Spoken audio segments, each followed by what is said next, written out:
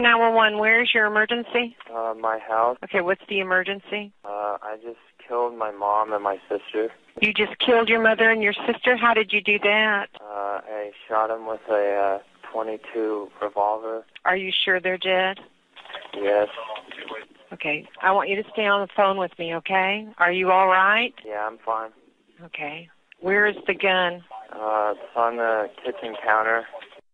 Is there any reason that you were so angry at your mother and your sister? Uh, I don't know. I uh, I wasn't. It's weird. I wasn't even really angry with them. It just kind of happened. I've been kind of uh, planning on uh, killing for a while now.